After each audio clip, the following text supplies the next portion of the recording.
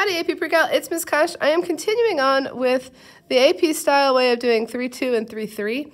Um, my previous video looked something like this, so you go find that one.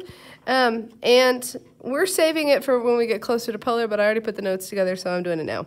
Um, okay, so we talked in the last video about how the coordinates um, x is equal to r cosine theta and y is equal to r sine theta.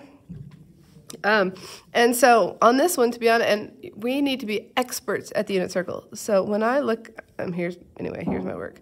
When I'm at 7 pi over 6, I'm down here, and so what are my coordinates? It's a positive root 2, and it's a negative, positive root 2 over 2, and a negative root 2 over 2. Um, so the, what am I doing? I was sick yesterday. Have I said that?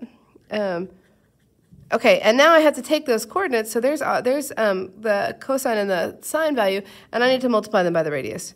So this gives me coordinates of 8 root 2, comma, negative 8 root 2. And that's how we do that first problem. I don't know that I'm going to make a video for all of these, or put all of my answers on the video, but, um, well, let's see. Okay, this one, 5 pi over 6 lives over here.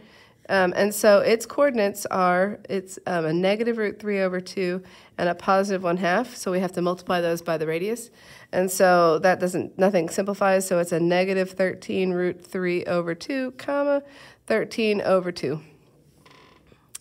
Um, and that's how I would think through these. So if we're looking at 5 pi over 3, we're down here. What are my original coordinates? Positive 1 half, negative root 3 over 2. Half of 50 is 25, so this is a positive 25 and a negative 25 root 3. Okay, we're, we're good enough. Well, all right, here I go. Uh, uh, sorry. So 7 pi over 2. This is 1 pi over 2, 2 pi over 2, 3 pi over 2, 4 pi over 2, 5 pi over 2, 6 pi over 2. Here comes this 3 pi over 2 is also not um, equal. Um, it's going to be coterminal. I don't we have a notation for that, but it's coterminal to 7 pi over 2. Okay, and so what are its coordinates? Well, its coordinates are 0, negative 1, typically. But now we have a new radius. So we're going to multiply this by 32, and we're going to have 0, negative 32. Oh, can you see it? There you go. 8 pi, where, where is 8 pi? Well, one, this is 0, 1 pi, 2 pi, 3 pi, 4 pi, 5 pi, 6 pi, 7 pi, 8 pi. Hopefully you recognize that, um, that 8 pi is coterminal to, it's a even value of pi, so it's going to be over there. Um, so its coordinates initially, without changing the radius, were the coordinates 1, 0. So now we change our radius, and we're at 11, 0. Okay, so looking at a few of these, this one I knew straight from the unit circle. So when, when I go to draw this, we're at negative root 3 over 2, so we went negative a lot, and, and negative 1 half, and up a little. So it's something like this. Um, and since this is a negative root 3 over 2, and this is a negative 1 half. We are straight on the unit circle. I can do Pythagorean theorem and find out that this is 1, or I can just know this is unit circle, maybe. Okay, did I just say that? Oh my goodness. Okay, that's r is equal to 1, and what's that angle? The angle to get there was 5 pi over 6.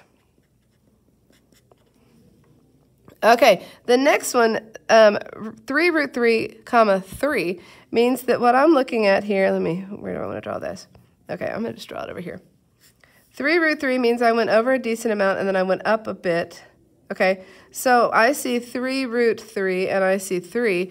And when I see root 3, I'm thinking 30, 60, 90. Um, and sure enough, here's the 30 degree angle.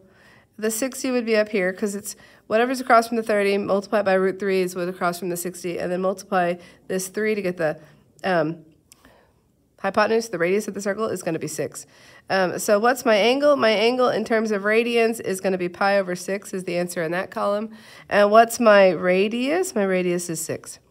Could I have done the Pythagorean theorem? Yes. Would it have been annoying? Yes. But, I mean, do you want me to show you?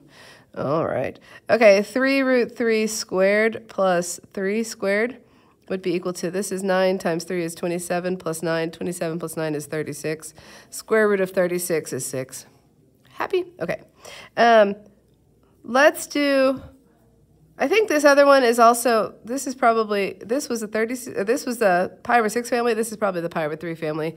Um, I don't feel like doing it. This one, okay, if we're at negative 14, 0, we're over here. So what's our angle? Pi, anything coterminal to that. Um, and what's our radius? 14. In life good. Okay, um, and then this last one, we're looking at a, and when I see root 2 over 2 over 2 over 2, I think in terms of 45, 45, 90, pi over 4 family. So negative positive puts me in quadrant 2. They match, so this is a negative 4 root 2, this is a positive 4 root 2, and I need, my hypotenuse is going to be root 2 times this. So my hypotenuse is 8 which is my radius. Okay, so radius is equal to 8. What's my angle? The pi over 4 family in quadrant 2 is equal to 3 pi over 4. Now, if I made any mistakes in these few videos, you can comment on it underneath. I know I'm good, but not perfect, and I've been sick. Um, okay, so that is helpful. Let's see. Oh, there were a couple more questions that they asked. You know what? Come back for a third video or fourth or whatever this is. I don't even know. All right, see you in a bit.